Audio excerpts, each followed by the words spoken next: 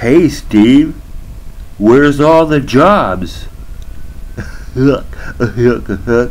hey, where's your brother Bill?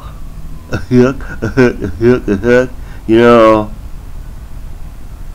the world won't be safe for democracy until all the capitalism is gone